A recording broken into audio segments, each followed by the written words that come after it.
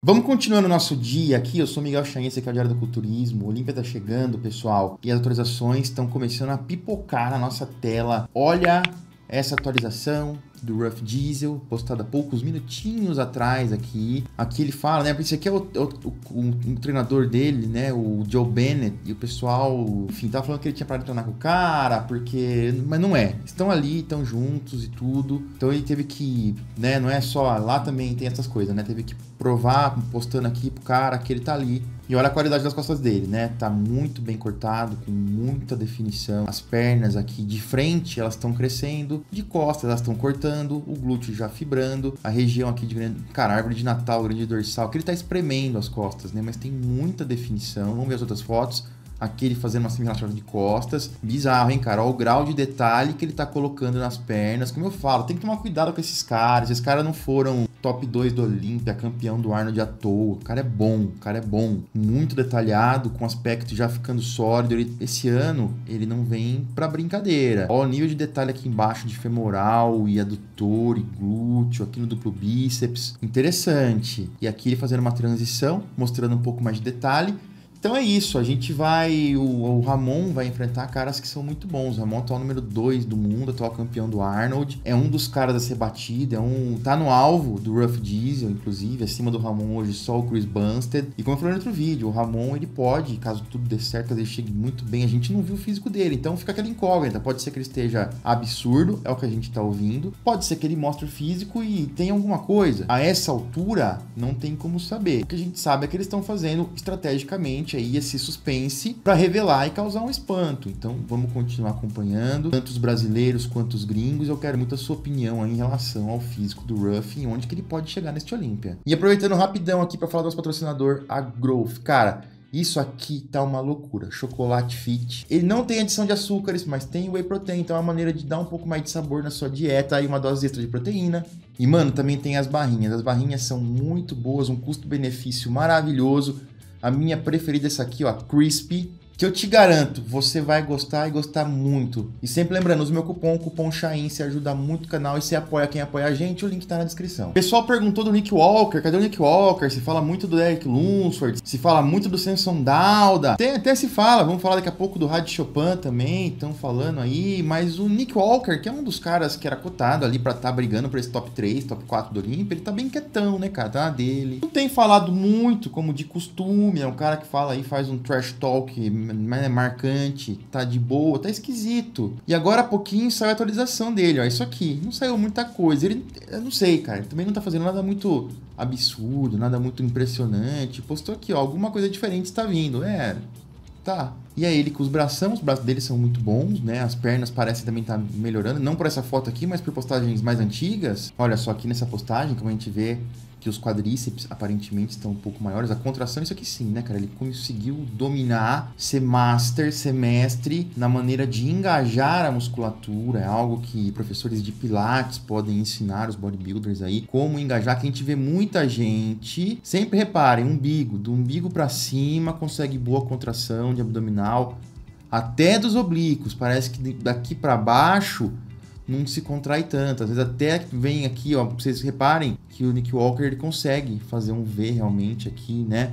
Contrair bem e, tra e trazer meio que em linha reta a região de oblíquos dele. Antigamente não acontecia isso. Então isso aqui ele domina e as pernas estão melhorando. Fora isso, ele não tem mostrado muita coisa. Vamos ver o que, que Nick Walker pode fazer nesse Olímpia. Uma outra postagem que ele fez aqui foi do Olímpia do ano passado, do Gilco, Gilco, nunca sei como que fala mas é um cara que produz imagens fenomenais.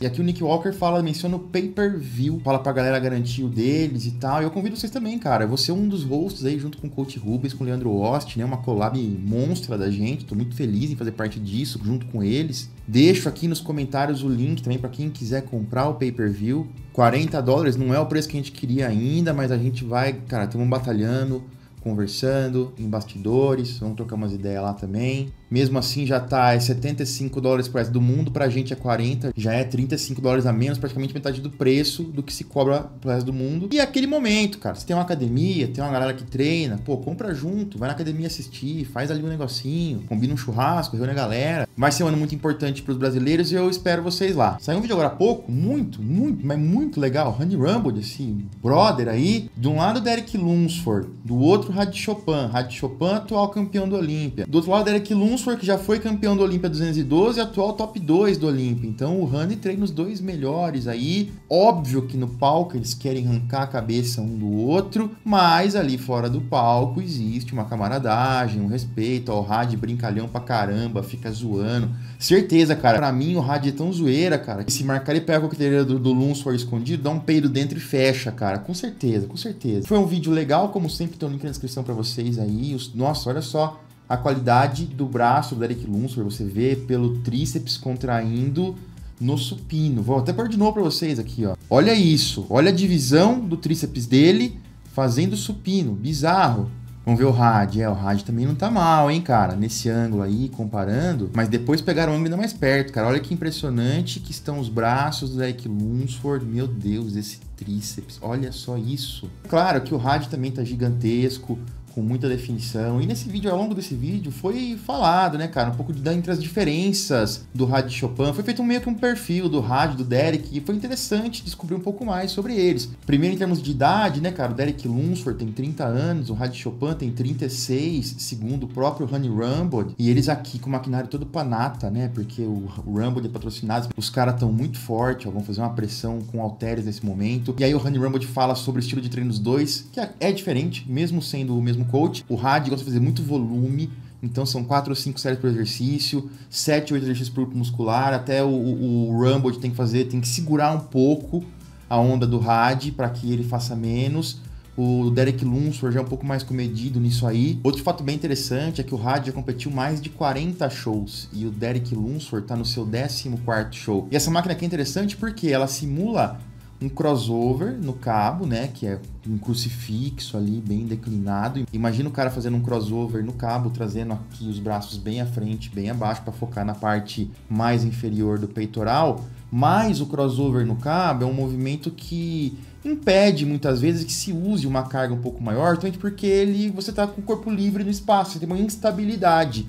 Então você não consegue muitas vezes colocar tanta sobrecarga. Numa máquina dessa, você tem um apoio, está encostado com as costas, pode fazer o leg drive para segurar e utilizar suas pernas e colocar mais tensão no seu corpo ainda e conseguir gerar mais força por consequência. Se quiserem, eu faço um vídeo sobre isso um dia, mas nessa máquina aqui também existe uma força contra o movimento o tempo todo. No crossover, nem sempre, porque o cabo acaba tendo uma direção ali em alguns pontos, você vai ter mais resistência sendo gerada, em outros pontos menos. Na máquina, teoricamente, a resistência gerada é a mesma durante todo o arco do movimento. É interessante. Fica meio que, comparando essa máquina com um crossover no cabo, por exemplo, o crossover no cabo é como disparar um canhão de uma canoinha. Você não tem uma base, você não tem uma estrutura, você não tem uma estabilidade. Bem interessante aqui a oportunidade dos caras extraírem ainda mais do exercício. Então esse foi o treino, feito um perfil dos dois aí, o Rádio Atual campeão, 36 anos, mais de 40 shows competido, treina num alto volume, o Derek Lunsford com 30 anos apenas, apenas 14 shows na carreira.